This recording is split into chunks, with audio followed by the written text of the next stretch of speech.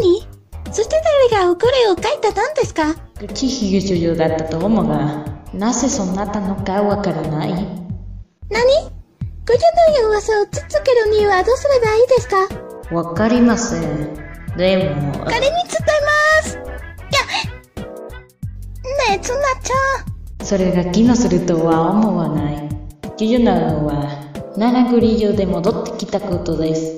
しかし、契約に署名することができます。何さげとは戻らない。いやいやいや、彼らはより良いものになるでしょう。わかります。ああ、いいね。行かなければならない。次回までお、彼は一人で見逃した。